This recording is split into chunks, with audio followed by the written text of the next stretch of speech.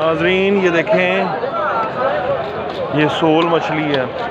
और सोल मछली की पहचान ये है कि इसके ऊपर फूल बने होते हैं, ये इस तरह के। ये सारे फूल देख रहे हैं आप? ये फूल बने हैं। ये असल सोल की पहचान है किसके फूल होंगे। एक के ऊपर लाइनें आती हैं, वो भी मैं दिखाऊँगा कि लाइनें कैसी होती हैं कि सोल मछली है।